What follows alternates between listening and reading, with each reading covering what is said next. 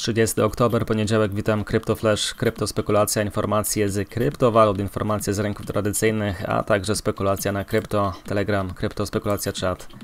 Zapraszam. Wydarzenia z rynków tradycyjnych, od tego zaczynamy, a dzisiejszy spadek w Azji to jest pełnym obaw przed tym tygodniem, pełnym polityki, a także w cudzysłowie tremą przed danymi z Bank of Japan, dane z Japonii. No i tutaj inwestorzy lekko się zatrzymują przed tym tygodniem pełnych danych, a między innymi rezerwa federalna i też ta niepewność właśnie posiedzenia banku w Japonii mocno zaważyła na indeksie Nikkei, tutaj około 1%, tak, 1,2% spadek i są to najgorsze wyniki w Azji przed tym wtorkowym posiedzeniem banku Japonii. A w tym tygodniu jakie mamy ciekawe wydarzenia na rynkach tradycyjnych i inwestorów, no to będzie tydzień pracowity dla inwestorów e, ze względu na choćby posiedzenie rezerwy federalnej, najnowszy raport o zatrudnieniu w USA, a także zyski technologicznej firmy Apple.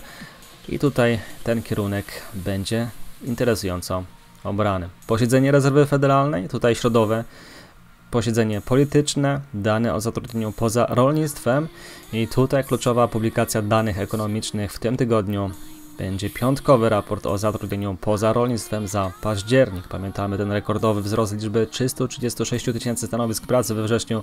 Tu ekonomiści spodziewają się bardziej umiarkowanego wzrostu liczby stanowisk pracy.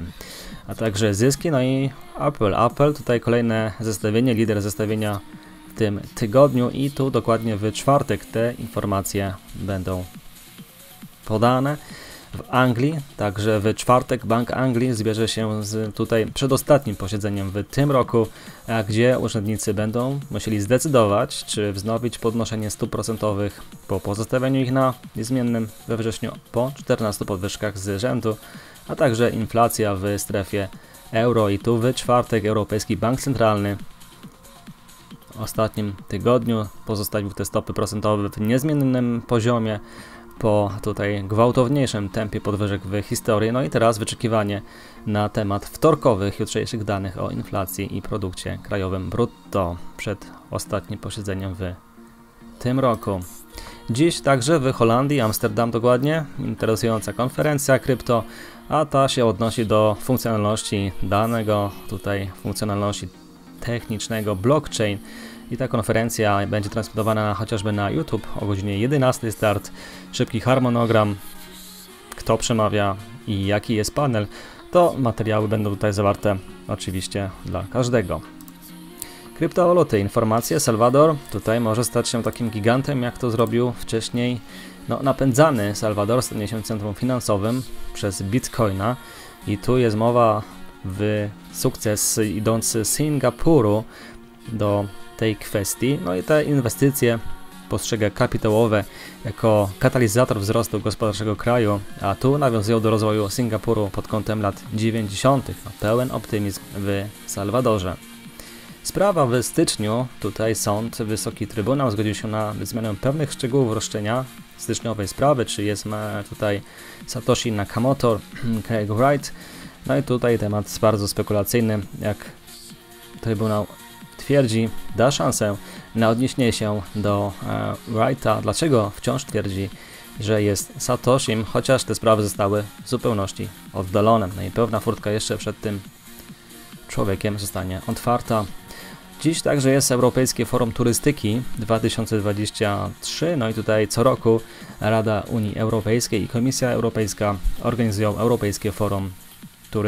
To w Malorce 30 października, a innymi na forum będą debaty jak wskaźnik pomiaru zrównoważonego rozwoju społecznego w turystyce, czynsze krótkoterminowe, a także dobre praktyki w zakresie zrównoważonego zatrudnienia w turystyce.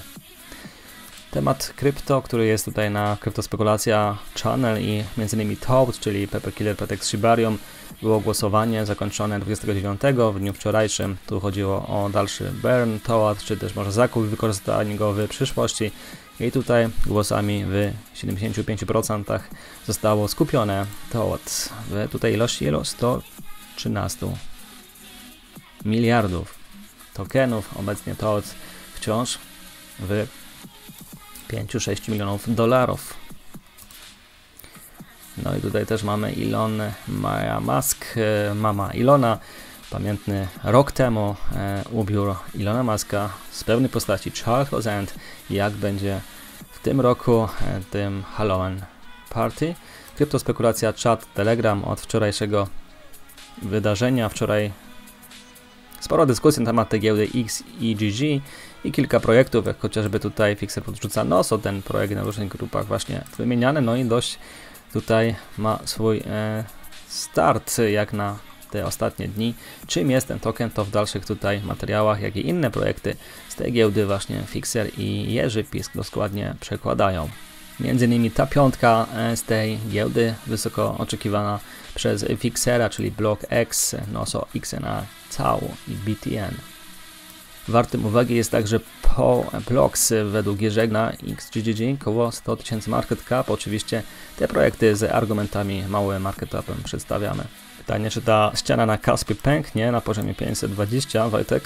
Podrzucone informacje przez Danielo na temat tego AMA, Shibarium, otoczki projektów i dość ciekawe AMA, interesujące dwugodzinne i kilka projektów wpada w oko, jak tutaj można rozegrać, jeżeli czas pozwoli, to będzie szybki materiał na temat tego AMA. W dniu jutrzejszym, 31 października, Crest będzie miał swoje AMA na YouTube. Tutaj DKT podrzuca 11.30 UTC. Nic nie wiem na temat projektu Kizu, na dobrze sobie radzi faktycznie. Na temat projektu NOSA to także Fixer podrzuca dalszy tutaj informacyjny kłębek, także do zaglądnięcia dla każdego. Spon informuje, że złapał pierwszą paczkę TKST przy cenie 55 centów. Toldi podrzuca wyznacznik tutaj kopalni bitcoinów, które są listowane na Nasdaq. Bardzo ciekawy wątek. Kryptospekulacja poniedziałek. Dziękuję.